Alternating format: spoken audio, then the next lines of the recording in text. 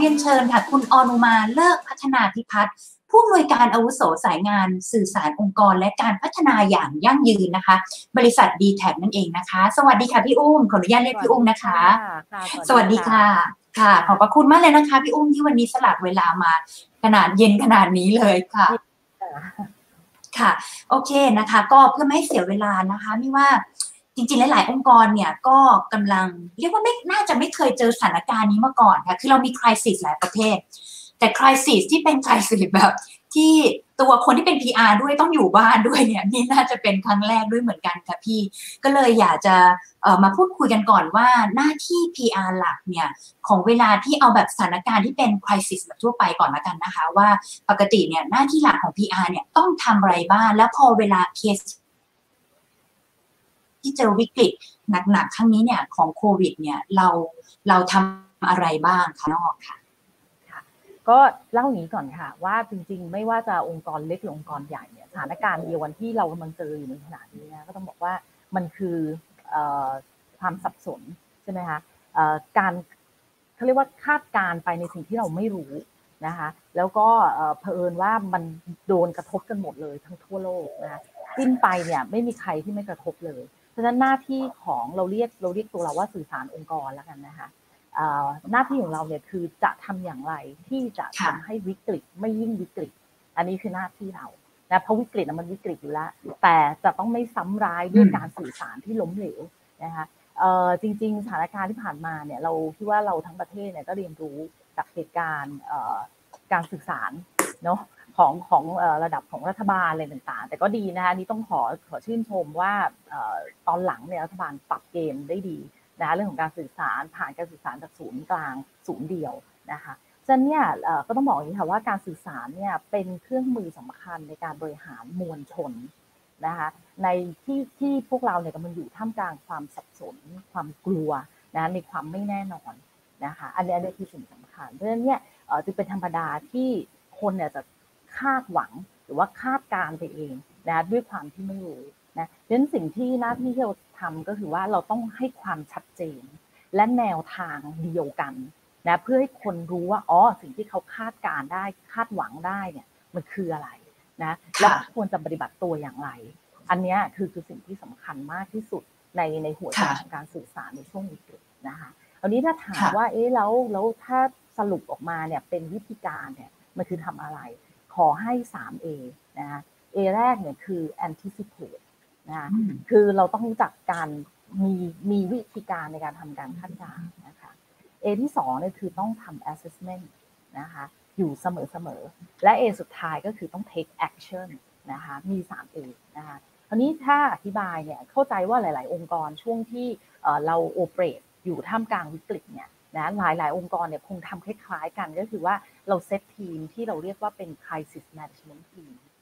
ด้วยกันหมดเลย ไม่แน่ใจว่าทางทางเอ่อ Texas Media เนี่ยต้องเซตด้วยแน่ๆใช่ไหมคะถึงได้ต้องปรับ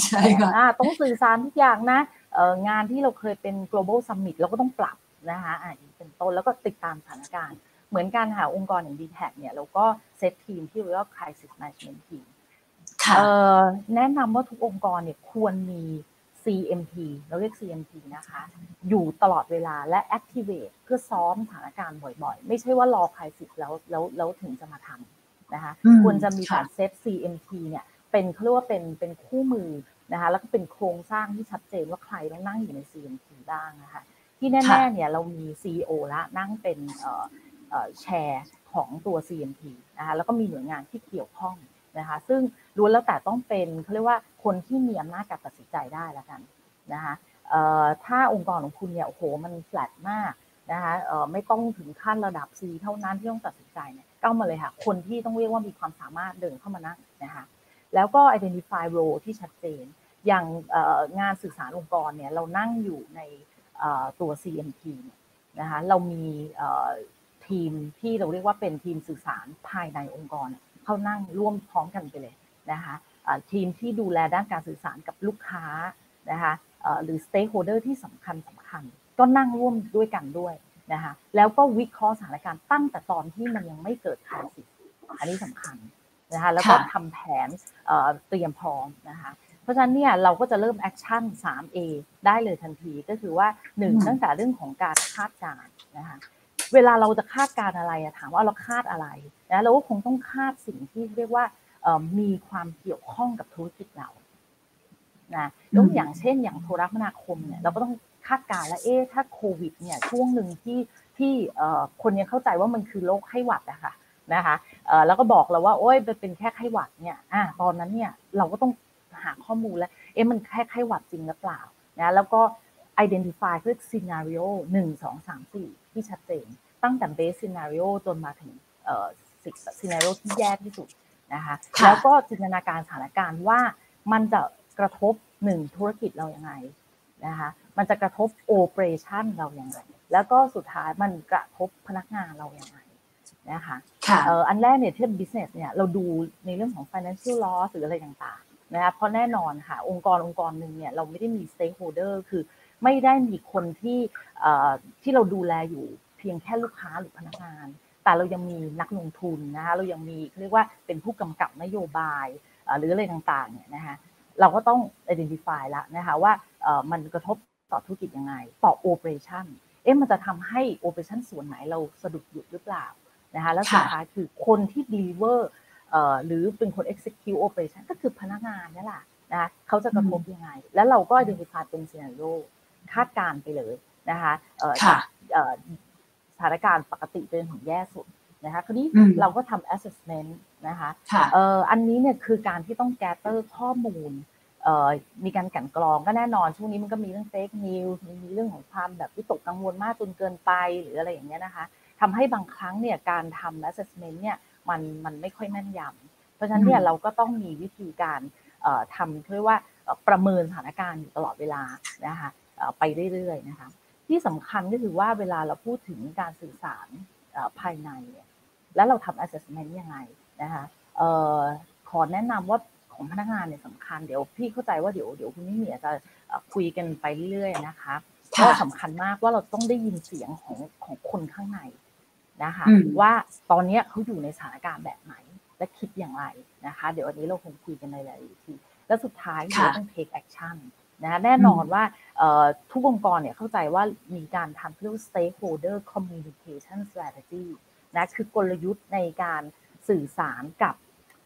ผู้มีส่วนได้ส่วนเสียกับธุรกิจหรือองค์กรของเราเนี่ยนะคะแบบครบสามร้อยหกสิบองศาค่ะนะคะแปลว่าเวลาเราพูดค่ะอ๋อโทษทีค่ะเดี๋ยวพี่อ้อมก่อนเลยค่ะ ค่ะ เวลาเราพูดคาว่า stakeholder เนี่ยเราก็ต้องเข้าใจว่าธุรกิจเราเนี่ยไปเกี่ยวพัน กับกลุ่ม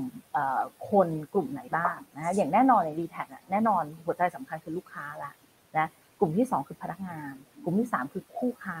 ที่เป็นคนขายของกับเรา solution partner นะคะกลุ่มที่เป็น regulator อย่างเงี้ยนะคะเราก็ต้องทำแผนให้ครบนะคะว่าเอ๊ะถ้าเกิดเหตุการณ์แต่ละอย่างเนี่ยเราจะต้อง handle stakeholder อย่างไร อันนี้ก็เป็นเป็นภาพเร็วๆที่ที่เราทำ ค่ะ แปลว่าในทีมงานเนี่ยมีฟังก์ชันคนที่ดูแลในแต่ละ stakeholder โดยเฉพาะเลยหรือเปล่าคะพี่เออจริง ๆ แล้วเนี่ยเวลาที่เราโอเปรตธุรกิจปกติใช่ เราก็จะมีแต่ละทีมอย่างเช่นอาทีมสื่อสารองค์กรของพี่เองเนี่ยเราก็ทำงานตรงกับสื่อมวลชนใช่ไหมคะเราทำงานกับอินฟลูเอนเซอร์หลายท่านเราทำงานกับดูแลการสื่อสารภายในคือพนักงานนะคะยกตัวอย่าง ขณะเดียวกันเนี่ยเราก็มีทีมเราเรียกว่าเป็นดูเรื่องของรัฐกิจสัมพันธ์เขาก็ดูแลในส่วนเขาเรียกอะไรคะผู้มีส่วนส่วนเสียที่เป็นคนที่คุมกฎหรือว่าหน่วยงานของรัฐบาลเป็นต้นนะคะ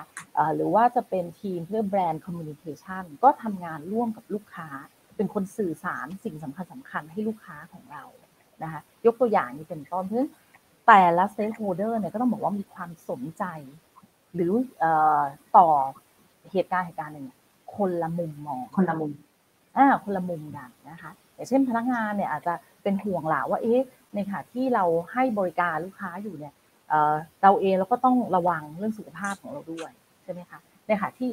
ลูกค้าก็พะวงว่าเอ๊ะบริการที่เราใช้ network เครือข่ายอยู่ มันยังจะใช้ได้อยู่ปกติหรือเปล่านะ ถ้าเหตุการณ์มันแย่ลง เพราะฉะนั้นเราจะเห็นว่าแต่ละคนก็จะมีเพื่อว่า ความสนใจแตกต่างกันนะคะเพราะฉะนั้นเองเนี่ยเวลาเราทำแผนเรียกว่า stakeholder communication strategy เนี่ยเราต้องเข้าใจว่า stakeholder แต่ละกลุ่มเนี่ยมีความสนใจต่อเหตุการณ์ผลกระทบโควิดเนี่ยว่าอะไรนะคะแล้วเรามองมองแบบต้องมองอย่างตรงไปตรงมาไม่เข้าข้างตัวเองนะคะจากนั้นเนี่ยเราถึงจะทำแผนสื่อสารรองรับได้ เวลาสื่อสารเนี่ยแน่นอนเวลาเราฟังใครพูดเนี่ย เราก็อยากจะฟังในสิ่งที่ เออเขาเรียกอะไรคะเวลาใครพูดอะไรเนี่ยโอ้โหพูดไม่ไม่โดนสิ่งที่เราอยากฟังเลยถูกไหมคะเพราะฉะนั้นเราเนี่ยต้องคิดอยู่ในหมวกของของสเต็กโฮเดอร์คนนั้นนะคะอันอันนี้สำคัญมากค่ะ ทีนี้ใครเป็นเหมือนเขาเรียกว่าเป็น final decision maker ค่ะ ถ้าแบบเรามีเมสเซจที่ออกมาแล้ว แล้วเรารู้ว่าเรื่องนี้คนนี้ต้องเป็นคนตัดสินใจเท่าที่ทราบมาแหละหลายปัญหาที่อาจจะเกิดขึ้นจาก communication คืออ มีมีหลายคนแล้วก็จริงแต่สุดท้ายแล้วมันต้องมีคนเคาะค่ะ ในมุมของทาง d t แทเนี่ยของของพี่เป็นยังไงบ้างคะอ่าก็ต้องแนะนำอย่างนี้ค่ะว่าทีมสื่อสารองค์กรเนี่ยนะคะควรจะเป็นทีมแรก แล้วก็ทีมที่ก็เรียกว่าเป็น focus point สำคัญนะคะในการกำหนดกลยุทธ์สื่อสารนะคะในการกำหนด message นะคะ channel นะคะแล้วก็ห้วงเวลา นะสื่อสารก่อนก็ไม่ดีสื่อสารหลังก็ไม่ได้นะคะเพราะฉะนั้นเนี่ยแนะนำว่าถ้าถ้าองค์กรของท่านเนี่ยมีหน่วยงานสื่อสารองค์กรนะคะควรจะให้เขาเนี่ยได้ทำหน้าที่ตรงนี้นะคะที่สำคัญก็คือว่าทีมทีมสื่อสารองค์กรเนี่ยก็แน่นอนว่ามีสายบังคับบัญชาที่ชัดเจนนะคะมีไม่ไม่ควรจะเรียกง่ายๆว่า หน่วยงานที่ดูแลข้อต่อตรงนี้ไม่ควรที่จะโอ้โหมีหลายขนมชั้น มันทำให้การตัดสินใจล่าช้าแน่นอนนะคะทีมสื่อสารก็ไม่เข้าถึงข้อมูลชั้นสำคัญของ management นะคะเวลามีอะไรก็โอ้โหกว่าจะผ่านด่านไปจนถึงข้างบนแล้วก็ตัดสินใจเพราะมันยาก เพราะฉะนั้น organization เนี่ยจะต้องถูกออกแบบมาให้เหมาะสมนะเพื่อให้ทีมสื่อสารองค์กรเนี่ยได้เข้าใจว่าโจทย์ของธุรกิจและองค์กรคืออะไรนะตอนนี้ บวกกับเขามอนิเตอร์สถานการณ์ข้างนอกเขาจะได้มาวิเคราะห์และแนะนำกลยุทธ์การสื่อสารให้กับผู้บริหารได้นะแน่นอนการตัดสินใจว่าอ้าวจะพูดอย่างนี้ไม่พูดอย่างนั้นเนี่ยก็ต้องทีมสื่อสารเนี่ยจะต้องทำแล้วก็เสนอผู้บริหารส่วนใหญ่องค์กรน่าจะเป็นเช่นนั้นนะคะแต่สำคัญก็คือว่าผู้บริหารต้องฟังผู้เชี่ยวชาญด้านการสื่อสารนะที่ที่พังเยอะหลายอย่างก็คือว่าเข้าใจว่าตนเองนั้นเนี่ยโอ้ย เราบริหารองค์กรมาเป็นธุรกิจหลายพันล้านหมื่นล้านเนี่ยดังนั้นเราต้องตัดสินใจเรื่องนี้ แต่จริงๆแล้วเนี่ยต้องอนุญาตให้ให้ทีมสื่อสารเป็นผู้แนะนำท่านนะคะว่า ตอนนี้เราควรที่จะทำอะไร ตอนนี้เราควรที่จะพูดอะไร ข้างนอกเขาคิดอะไรกับเรานะคะ อันนี้สำคัญว่าข้างนอกเขาคิดอะไรกับเรา stakeholder กลุ่มนั้นๆคิดอะไรกับเรานะคะอันนี้ถือว่าเป็นเป็นสิ่งที่สำคัญ ในกรณีที่องค์กรเนี่ยแหมต้องมี spokesperson หลายท่านจริงๆ เราแนะนำว่าต้องมี spokesperson เนี่ยเพียงเพียงเพียงท่านเดียวนะคะ แต่ถ้าความยากคือโอ้จะมีหลายท่านเนี่ยก็อย่างน้อยต้องมารวมศูนย์ที่หน่วยงานสื่อสารองค์กรนะควรจะเป็นคนบริหารจัดการการจราจรในการสื่อสารนะคะว่าอ้าวตอนนี้ควรพูดเรื่องนี้นะควรพูดเรื่องนั้นควรพูดในโทนแบบนี้ลักษณะเป็นแบบนั้นแบบนี้ ก็สื่อสารองค์กรก็ถือว่ามีบทบาทสำคัญ ในการตัดสินใจในช่วงการการสื่อสารในช่วงวิกฤตนี้ค่ะค่ะคริสิสเนี่ย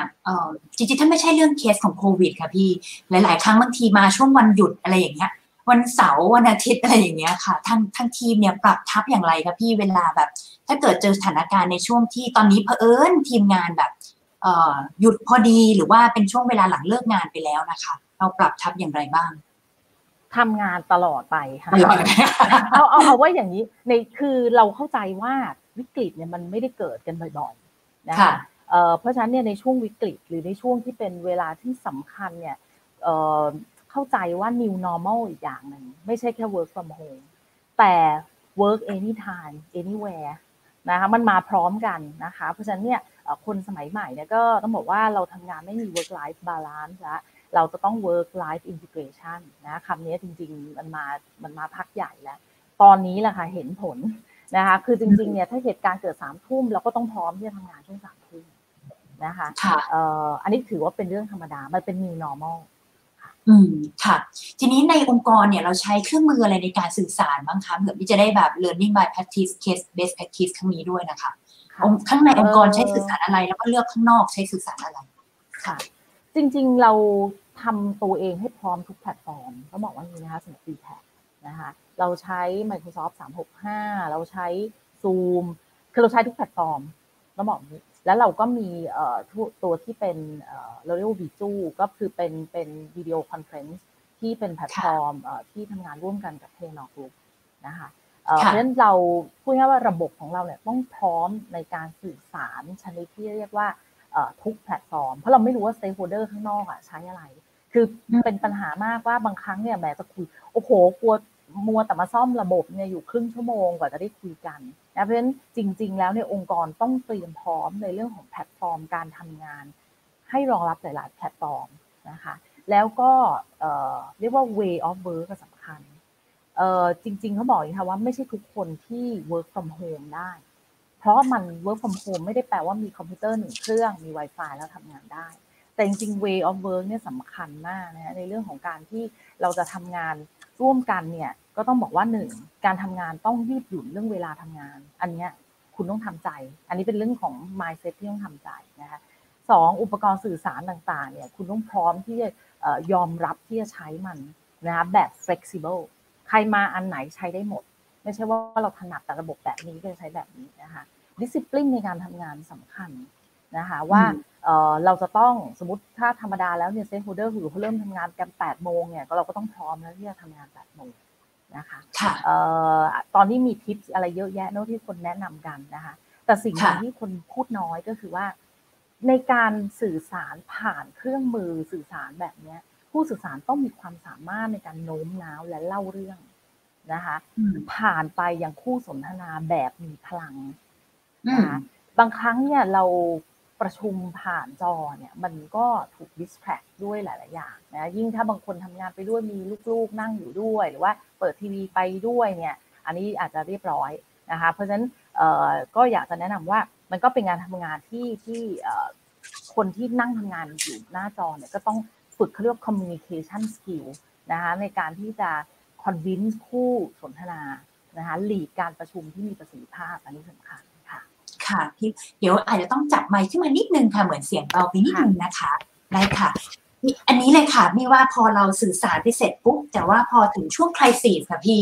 มันก็ต้องมีการวัดผลเนอะแล้วก็ต้องตรวจดูว่าอะวัดผลเสร็จรายวัน แล้วก็ต้องมานั่ง adjust กันกันดูอีกทีหนึ่งค่ะ มีวิธีในการวัดผลในเชิงในแง่ของคลายซีอย่างไรบ้างคะ่ะ เออของ d t แทเนี่ยด้วยความที่เราเป็น mass brand นะคะสื่อสารอะไรเรื่องหนึ่งเนี่ย พูดง่าย ๆว่าไปอ่านโซเชียลมีเดียได้เลยนะคะเสียงของผู้บริโภคเนี่ยบอกเราเองว่าเขาเห็นด้วยหรือเปล่า เขา happy กับสิ่งที่เราบอกหรือเปล่านะคะเอ่อ mass brand เนี่ยจะง่าย จริง ๆสำหรับดีแทคเนี่ยเราเลิกวัด PR value มานานมากแล้ว เราเราเราไม่วัดว่า งานข่าวลงไปชิ้นหนึ่งได้ value เท่าไหร่ อะไรไปลงอะไรคูณอะไรเนี่ย อันนี้เราเลิกวัดมานาน แต่เราดู engagement เราดู sentiment นะคะว่าเวลาข่าวหนึ่งชิ้นออกไป หรือเวลาเราประกาศหรือเราสื่อสารเรื่องใดเรื่องหนึ่งออกไปเนี่ยผู้บริโภคเนี่ยตอบสนองต่อเรื่องเรื่องนั้นอย่างไรนะคะเราดู action ได้เลยค่ะ เดี๋ยวนี้โชคดีมากว่าว่าโซเชียลมีเดียเนี่ยทำให้เราสามารถที่จะวัด impact ต่างๆ เหล่านี้ได้ง่ายมากค่ะ ทีนี้มีคำแนะนำอย่างไรสำหรับ ถ้าเป็นอะอันนี้เป็นเคสองค์กรขนาดใหญ่ค่ะพี่ แต่ถ้าเป็นแบบหลาย ๆ คนที่อยู่ในที่เป็นผู้ชมทางบ้านอาจจะมีองค์กรขนาดเล็กด้วยค่ะ ถ้าเป็นในแง่มุมของเขาเนี่ยอาจจะไม่มีความเชี่ยวชาญเรื่องของการสื่อสารมากนะัก ผู้ประกอบการควรต้องจัดการกับเคสนี้อย่างไรบ้างอะคะค่ะ จริงๆ ไม่ว่าองค์กรใหญ่องค์กรเล็ก 3A apply ได้หมด นะคะ ก็คือว่าหนึ่งคุณต้องรู้ว่าธรรมชาติของธุรกิจคุณคืออะไรนะคะถ้าเหตุการณ์เหตุการณ์หนึ่งขึ้นมาเนี่ยจับกลุ่มคุยได้เลยค่ะในในในบริษัทคุณนะคะ แล้วก็พูดง่ายคือเราต้อง trust ในในบทบาทความรับผิดชอบของของทีมแต่ละคนนะคะให้เขาวิเคราะห์มาเลยค่ะว่าผู้ที่มีส่วนได้ส่วนเสียขององค์กรนะคะแต่ละคนมองมุมมองต่างๆ ในเหตุการณ์นี้อย่างไร มันกระทบธุรกิจอย่างไร มันกระทบโอเปอเรชันยังไงมันกระทบต่อคนทำงานขององค์กรอย่างไรนะคะ อันนี้ทำได้เลยนะคะ เฝ้ามอนิเตอร์เหตุการณ์เนี่ยอย่างใกล้ชิดนะคะ และไม่มี bias อันนี้สำคัญนะคะ แล้วก็ทบทวนแผน action ต่างๆ อย่างใกล้ชิดนะคะที่สำคัญเจ้าของธุรกิจหรือองค์กรต้องฟังผู้เชี่ยวชาญด้านการสื่อสารที่คุณเลือกคุณไว้วางใจนะคะ เพื่อจะได้ไม่เกิดปัญหาว่า โอ้ยผู้สื่อสารผู้เชี่ยวชาญด้านการสื่อสารแนะนำอย่างนี้แต่เจ้าของธุรกิจบอกไม่จะเอาแบบนี้นะคะ เพราะฉะนั้นอันนั้นก็จะยากพอสมควรนะคะ อีกอย่างหนึ่งที่อยากเล่าเรื่องการสื่อสารภายในเวลาเรามองการสื่อสารกับพนักงานเนี่ยขอให้มองพนักงานว่าเขาเป็นทั้งผู้ที่จะดำเนินธุรกิจให้เราในช่วงวิกฤตเขามีหน้าที่ในการ continue ธุรกิจนะคะ ให้แล้วก็ดูแลลูกค้า หาดเดียวกันเขาเองเนี่ยก็ต้องในการจะทำเช่นนั้นได้ในขวัญกำลังใจ และความเข้าใจในสถานการณ์เนี่ยเป็นสิ่งสำคัญ และความไว้วางใจในองค์กร ว่าจะ lead เขาไปได้ในช่วงวิกฤตนี้สำคัญ เพราะฉะนั้นการสื่อสารภายในเนี่ยแนะนำว่าทุกองค์กรเนี่ยควรจะทำเขาเรียกว่าทำ demographic ของพนักงานรอไว้เลย ในยามปกติ นะต้องเข้าใจว่าพนักงานสมมติว่าเรามีทั้ง 2,000 คน 4,000 คน 10,000 คนเนี่ยเราต้องรู้ว่าเขาคือใครนะเขามีความสนใจอะไร การติดต่อสื่อสารเขาเนี่ยควรผ่านช่องทางอะไรนะคะสำหรับดีแทคเราเลิกเรียกคำว่า internal com ไปละเราเรียกว่า employee communication เพราะจริง ๆ พนักงานเนี่ยแหละ ก็เป็น media และ ambassador ขององค์กรนะคะที่สำคัญก็คือว่าเรามีแพลตฟอร์มที่เป็น anonymous แพลตฟอร์มที่เราเรียกว่า open talk ที่เราเนี่ยจะฟังเสียงพนักงาน ซึ่งเขากล้าพูดเพราะไม่ต้องใส่ชื่อและองค์กรลงไปนะคะแล้วเนี่ยเราจะรู้เซนติเมนต์ว่าข้างล่างอะตอนนี้พนักงานคิดอย่างไรนะคะหาเดียวกันเนี่ยฟังแล้วรู้แล้วต้อง address concern เหล่านั้น แล้วก็สื่อสารเป็นประจำนะคะที่สำคัญก็คือว่าเราจะต้องสร้าง engagement ระหว่างผู้บริหารและและกลุ่มพนักงานอย่างใกล้ชิดเป็นประจำอะอันนี้ก็ถือว่าเป็นคำแนะนำสำหรับทุกองค์กรนะคะ ทุกไซส์สามารถทำได้ค่ะ ค่ะ มีคำถามเข้ามาจากทางบ้านนะคะเขาบอกว่าหลาย ๆ องค์กรเนี่ยอาจมีทั้งขาขึ้นค่ะ แล้วก็ขาลงในยามที่องค์กรเจอวิกฤตเนี่ยจะสื่อสารในไรพนักงานเข้าใจสถานการณ์และยังมีความเชื่อมั่นค่ะ ในบริษัทไม่ตนกกับเหตุการณ์ที่เกิดขึ้น เขาจะว่าอาจจะมียิ่งพนักงานเยอะมากๆอย่างเงี้ยก็จะมีทั้งทีมอะทีมที่บางทีอาจจะเกิดการไม่ให้ความร่วมมือ ทีมนี้ก็อาจจะแบบ ร่วมมือดีแต่ว่าทีมที่มีปัญหาเนี่ยคนที่เป็นคนกลางอย่างทางหน่วยงานที่ดูแลเรื่องคอมมูนิเคชันตรงนี้ทำอย่างไรเพื่อจะประสานงานแก้ปัญหาตรงนี้ให้ได้บ้างอะคะค่ะถามถูกคนแล้วค่ะ เพราะจริงๆดีแท็เนี่ยถ้าคุณวิหมีทราบเนาะแล้วก็เออคุณคุณนภักใช่ไหมคะ ที่เป็นเออมีคำถามมา จะสังเกตจากภายนอกแหมเอาใจเออเขาเรียกแล้วเอาใจช่วยดีแท็ตลอดนะ จริงๆเราก็มีวิกฤตตลอดนะ แต่สิ่งที่เรายึดมั่นในหลักการของการสื่อสารภายในกับพนักงานเนี่ยคือหนึ่งต้องโปร่งใสนะคะ แล้วก็จริงใจตรงไปตรงมานะคะ อันนี้คือสิ่งที่สำคัญแล้วพอพนักงานรู้สึกว่าอะเราพูดในสิ่งที่เป็นจริงนะคะเอ่อแล้วเป็นอย่างนั้นจริงๆ เราทำจริง ๆ แบบนี้นะแล้วก็โปร่งใสบอกตรงๆว่าสถานการณ์ที่เราอยู่เนี่ยมันเป็นยังไงเนี่ยคุณได้ใจพนักงานไปครึ่งหนึ่งพอวันที่ผู้ฟังเนี่ยเปิดใจ นะคะที่จะรับฟังแล้วเนี่ยที่เหลือเนี่ยคุณบอกกลยุทธ์ได้เลยว่าคุณจะทำอะไรต่อนะคะ แต่ขอให้ง่าย ๆ ก็คือว่าครึ่งแรกต้องต้องต้องยอมรับก่อนว่าเราอยู่ในสถานการณ์แบบไหน พูดตรงๆกับพนักงานไปเลยนะคะว่าเป็นอย่างไรนะคะให้พนักงานรู้สึกว่าอ๋อเราเข้าใจละสถานการณ์ที่เรากำลังเจอกันทั้งองค์กรเนี่ย ผู้บริหารก็ลงเรือลำเดียวกับเราอะถ้าอย่างนั้นเนี่ยอะองค์แล้วกลยุทธ์ต่อจากนี้คืออะไรนะคะเพ ราะฉะนั้นอย่างอย่างที่บอกเลยนะคะก็คือว่าผู้บริหารจะต้องรับทราบ sentiment และ insight ของพนักงาน ว่าตอนนี้พนักงาน concern อะไรอยู่นะคะและพยายามหาวิธีการสื่อสารที่ตอบโจทย์ความกังวลนั้นอย่างจริงใจและตรงไปตรงมาที่สำคัญจะต้องสื่อสารเป็นประจำนะคะไม่ใช่ว่าพูดไปหนึ่งครั้งหายเงียบไปเลย แล้วก็ไม่รู้ว่าเอ้ที่พูดอยู่เนี่ยมันใช่ไม่ใช่นะคะ แล้วระหว่างทางถ้าคุณคิดว่าคุณทำแล้วเนี่ยโอ้ประสบความสำเร็จ มีเขาเรียกว่า small win นะคะมีความมีชัยชนะ หรือประสบความสำเร็จอะไรเล็กๆน้อยๆเนี่ยก็ต้องเรียกง่ายๆว่าต้อง celebrate กับทีม ให้ทีมรู้สึกว่าโอ้เขาเป็นส่วนหนึ่งในการช่วยแก้วิกฤตนั้นได้ค่ะ ค่ะ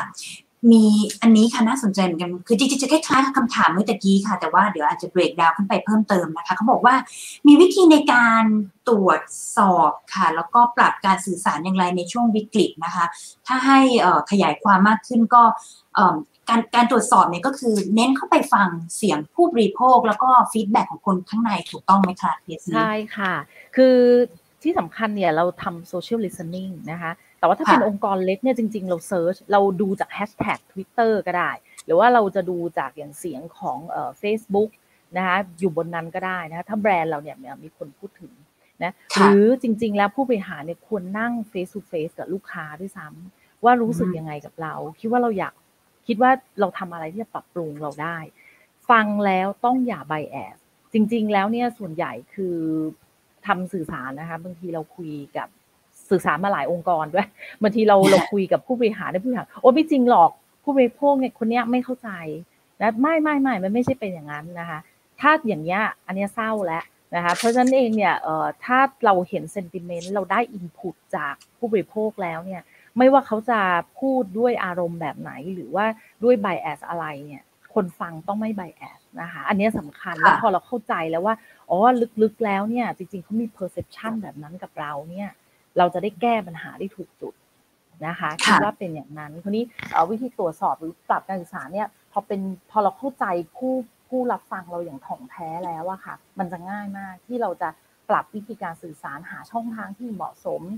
message ที่เหมาะสม บางครั้งเนี่ยพูดอย่างเดียวเนี่ยผู้ฟังบอกกินไม่ได้ เพราะฉะนั้นเราอาจจะต้องหา action บางอย่างที่มันนอกเหนือจากคำพูด เป็นการสื่อสารอีกทางหนึ่งด้วยนะคะ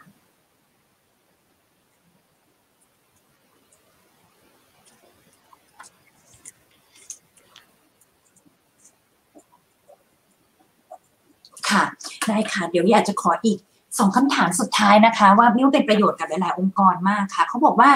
องค์กรใหญ่เนี่ยมีขั้นตอนค่อนข้างเยอะนะคะอย่างที่เมื่อกี้พี่อุ้มพูดเลยนะคะ เพื่อจะตัดสินใจในการปล่อยการสื่อสารในช่วงวิกฤตออกมา มีข้อแนะนำคะในการแก้ปัญหานี้อย่างไรนะคะ ทั้งแบบพูดกับผู้บริหารค่ะ แล้วก็บอกกับทีมงานด้วยคอนวินส์ยังไงดีคะอันแรกนะคะ organization structure เนี่ยสำคัญมาก นะคะแล้วไม่ไม่ใช่แค่แบบเป็นองค์กรหนึ่งหรือสององค์กรนะส่วนใหญ่ต้องบอกเก้าสิบเปอร์เซ็นปัญหาคือ organization structure นะคะมีมีปัญหานะก็คือว่าส่วนใหญ่เนี่ยจะมองว่าโอ้ยหน่วยงานสื่อสารองค์กรหรือ PR เนี่ยไม่ค่อยสำคัญเล็กนะคะแล้วก็อยู่ห่างไกลจากกลุ่มที่เป็น decision maker ที่สำคัญขององค์กร เพราะฉะนั้นถ้ามีท่านใดฟังอยู่แล้วเป็นผู้บริหารเนี่ยเดี๋ยวจะรบกวนให้กลับไปลองพิจารณานะคะ สองก็คือว่าทักษะของทีมสื่อสารองค์กรเองก็ต้องเปลี่ยนนะคะคุณต้องเข้าใจธุรกิจก่อนนะคะส่วนใหญ่เนี่ยถ้าทำ PR หรือถ้าทำการสื่อสารเนี่ยอาจจะเก่งเรื่องเขียนหรืออะไรต่างๆ แต่ว่าคุณอาจจะไม่เข้าใจมุมมองของผู้บริหารเมื่อมองจากมุมธุรกิจเองนะเพราะฉะนั้นเองเนี่ยคนทำสื่อสารจะต้องมีความเข้าใจนะคะจากมุมมองของธุรกิจด้วย เพื่อเวลาเราทำงานเนี่ยเราจะได้เอา ทักษะของการทำสื่อสารมาผนวกรวมกับ business insight เรื่องนี้แล้วกันนะคะ แล้วก็เราจะได้ถอดความมันออกมาเป็นคำแนะนำด้านการสื่อสารที่ที่โดนใจผู้บริหารนะคะพอพอคุณได้ความไว้วางใจจากผู้บริหารแล้วเนี่ย อันนี้ก็จะง่ายขึ้นละเราทำงานเราแนะนำอะไรต่างเนี่ยผู้บริหารก็จะคิดถึงทีมสื่อสารองค์กรว่าอ้าวงั้นเข้ามาร่วมเป็นส่วนหนึ่งในการตัดสินใจ นะคะขณะเดียวกันเนี่ยประสบการณ์ของการสื่อสารเนี่ยต้องบอกว่าเก่าๆอาจจะใช้ไม่ค่อยได้ เพราะว่าเราอยู่ในช่วงของต้องเรียกว่ามีเดียแลนด์สเคปมันเปลี่ยนนะคะพนักงานเองเนี่ยเราก็เริ่มเห็นคนอายุน้อยๆ เข้ามาความคาดหวังต่อองค์กรเนี่ยไม่ใช่เรื่อง job security ละแต่เป็นเรื่องของการทำงานที่ท้าทายขององค์กรนะองค์กรแหมมีสิ่งต่างๆ ที่เขาคาดหวัง เพราะฉะนั้นก็ต้องบอกว่าออเดียนเราเปลี่ยน ช่องทางการส่งต่อข้อความก็เปลี่ยน เพราะฉะนั้นคนที่ทำงานสื่อสารก็ต้องเข้าใจทั้งเรื่องว่าว่าออเดียนนะคะ แล้วก็ distribution ของข้อความเราต้องเข้าใจไปด้วยกัน พอผนวกรวมกันทั้งหมดเนี่ยก็น่าที่จะทำให้หน่วยงานสื่อสารสามารถทำงานได้ ได้ได้ง่ายขึ้นได้ค่ะ ค่ะอยากจะให้พี่อุ้มช่วยฝากทิ้งท้ายนิดนึงนะคะ กับทุกๆ องค์กรเลยค่ะ ที่กำลังทำเรื่องของ communication ค่ะพี่ว่าถ้าหัวใจที่อยากจะขับเคลื่อนเพื่อแก้ปัญหาในช่วงวิกฤตตรงนี้ไปด้วยกันเนี่ย อะไรคือหัวใจสำคัญที่สุดสำหรับพี่อุ้มที่จะจัดการในวิกฤตครั้งนี้ค่ะ ค่ะกก็ต้องบอกว่าคนที่ทำงานสื่อสารท่านท่านจงภูมิใจนะคะ แล้วก็ต้องตระหนักว่าท่านกำลังถือเครื่องมือที่สำคัญที่สุด นั่นคือ การสื่อสารที่มีประสิทธิภาพ เพื่อช่วยนำพาองค์กรนั้นในระหว่างวิกฤตเนี่ยให้มันผ่านพ้นไปด้วยดีนะคะ แต่เราจะใช้เครื่องมือที่เราบอกว่าเราเป็นผู้เชี่ยวชาญได้ดีเนี้ยก็ต้องบอกว่ามันคงต้องอาศัยสตินะคะกำลังใจที่ดีนะคะแล้วก็แล้วก็การทำงานที่ใกล้ชิดกันนะคะกับกับออเดียนของเรานะคะไม่ว่าจะเป็นสื่อมวลชน หรือว่าพนักงานหรือว่ากลุ่มไหนก็ตามนะอันนี้ท่านจะต้อง เป็นเสมือนกับเป็นหูและเป็นตาให้กับองค์กรนะคะและบอกผู้บริหารตรงๆ ว่าตอนนี้มีคนคิดถึงองค์กรเราว่าอย่างไร คาดหวังกับองค์กรเราอย่างไร อันนี้ถือว่าเป็นหน้าที่ที่สำคัญนะแล้วก็ให้คำแนะนำที่เหมาะสมอย่างอย่างกล้าหาญก็บอกว่างี้นะคะ เพราะหลายครั้งแบบเข้าใจเลยว่าบางทีเราแนะนำอะไรไป โอ้อาจจะใช่เหรอคุณเข้าใจเหรอนะคะ เพราะฉะนั้นเราก็ต้องให้คำแนะนำด้วยความมั่นใจนะคะ แล้วก็ผ่านวิกฤตนี้ไปด้วยกันค่ะ ได้ขอบพระคุณพี่อุ้มมากเลยจริงๆมีคำถามเยอะมาก แต่เดี๋ยวอาจจะสอบถามไปอีกทีนึง แล้วเดี๋ยวเราอาจจะตอบใต้โพสต์อีกทีนึงนะคะ วันนี้ต้องขอขอบพระคุณพี่อุ้มมากค่ะ แล้วก็ทางทีมดีแท็กด้วยนะคะ เช่นกันค่ะ